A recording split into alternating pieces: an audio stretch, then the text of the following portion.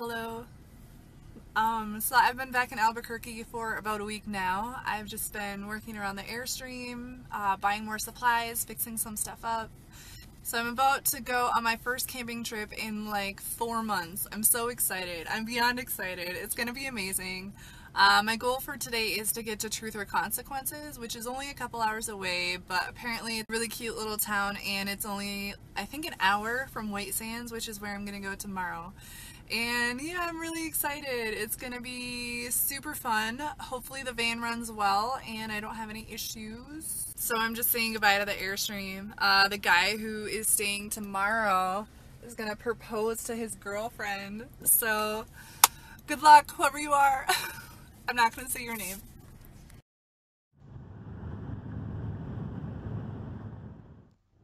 So I've been driving for about an hour now. Uh, Truth or Consequences is about an hour and a half away. The van is super slow, so it's taking a little bit longer than I thought, but I'm gonna stop at a gas station here soon. And then when I get there to Truth or Consequences, I think I'm just gonna sleep in a Walmart parking lot.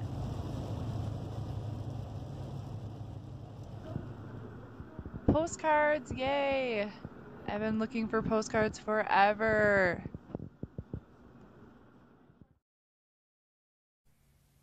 It is 64 degrees here. It is so nice. I am so happy.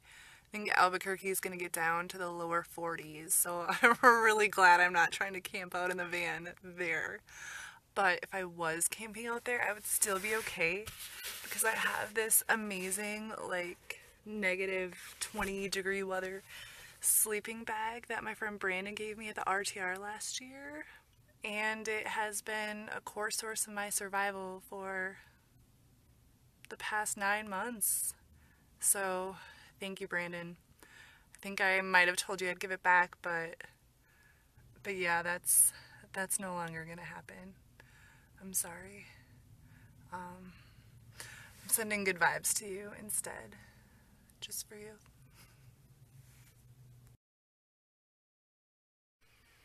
Good morning. It is looking like a super beautiful day sun is shining. It's supposed to get up to 80 here. I think in White Sands it's going to be like upper 70s.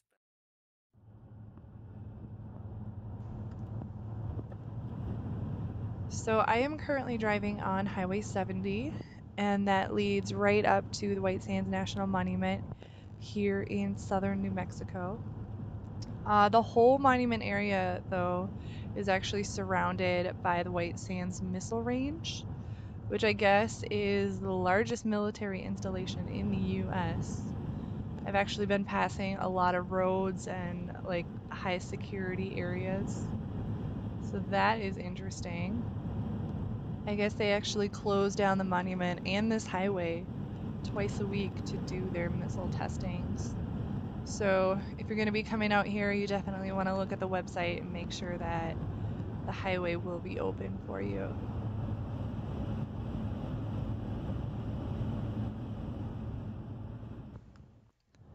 So we should start to see some white sand coming up here soon.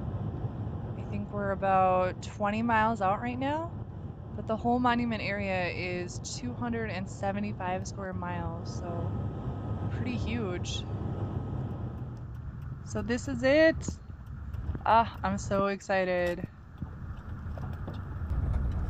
So it's normally $5 a person to get in but I won't have to pay because I have the America the Beautiful National Park Pass.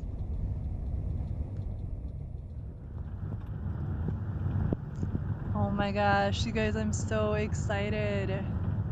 Some people get excited about like forests and mountains. I get excited about the ocean and sand.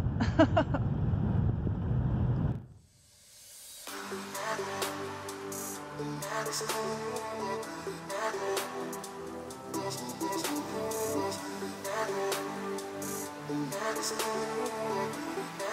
you.